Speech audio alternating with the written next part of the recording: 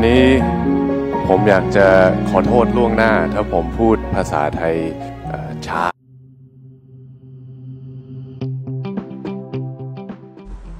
สวัสดีครับ วันนี้เรามาทำความรู้จักกับคุณชรบูรณหิรัน อดีตเด็กหัวร้อน สู่นักพูดนักสร้างแรงบันดาใจระดับประเทศ เขาคือเจ้าของแฟนเพจและ YouTube ชรบูรณหิรัน เขาได้ทำเพื่อนำเสนอแนวคิด และปรัชญาในการใช้ชีวิต ผ่านสื่อสังคมออนไลน์ทั้งภาษาไทยและภาษาอังกฤษ ปัจจุบันมีผู้ติดตามมากกว่า 2 ล้านคน และมีผู้รับชมคลิปวิดีโอแนวคิดต่างๆ ของเขามากมายพร้อมแชร์ต่อไปทั่วโลกเขายังมีหนังสืออีก 2 เล่มที่ติดอันดับ top seller ขายดี มีผู้สนใจมากมายจนถึงปัจจุบัน คือเรื่อง 51 ศาสตราวุธ และอิทธิพล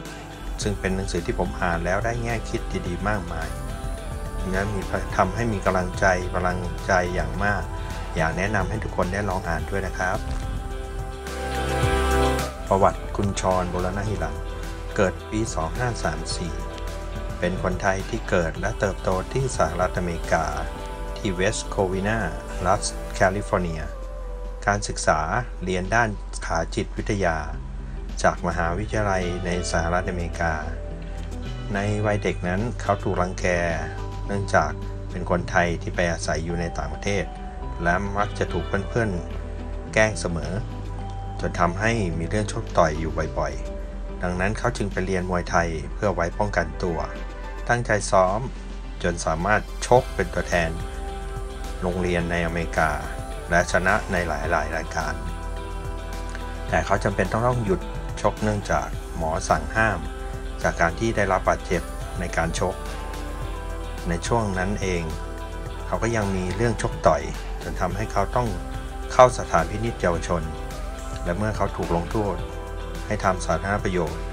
และอยู่ในนั้น1สัปดาห์ทำให้เขาและพ่อแม่เสียใจมากทำให้เขาคิดได้ และอยากเปลี่ยนแปลงตัวเอง โดยเขาตัดสินใจกลับมาใช้ชีวิตในประเทศไทย ตอนอายุ 23 ปี โดยอาศัยอยู่กับคุณย่า เริ่มต้นโดยการเรียนทุกอย่างด้วยตนเอง ฟังข้อคิดและอ่านหนังสือของคนสำเร็จมากมาย เริ่มฝึกพัฒนาตัวเอง ฝึกพูดภาษาไทย ซึ่งตอนนั้นเขายังพูดไม่ค่อยได้ หัดทำคลิปจนทำให้เขาประสบความสำเร็จ จากการทำเพจที่ให้แรงบันดาลใจและเปลี่ยนชีวิตคนมากมาย ผ่านทางการบอกเล่าและแบ่งปันเรื่องราวดีๆ เขาเริ่มต้นจากที่ไม่มีรายได้ ตัดสินใจไม่รับงานแสดงทั้งที่มีคนติดต่อมา ตั้งใจทำในสิ่งที่เขาคิด และตั้งใจทำคลิปอย่างต่อเนื่อง แม้ว่าจะมีคนไม่เห็นด้วยในตอนต้น แต่ได้กำลังใจจากแฟนของเขา ซึ่งเป็นปัจจุบันเป็นคู่ชีวิตเขา และเขาก็ยังยืนหยัดทำ จนมีคนติดตามมากขึ้นเรื่อยๆ สามารถมีรายได้เข้ามาอย่างต่อเนื่อง และนำไปลงทุนจนจะสามารถซื้อรถในฝัน และเขาตัดสินใจย้ายตัวเองไปอยู่ที่เชียงใหม่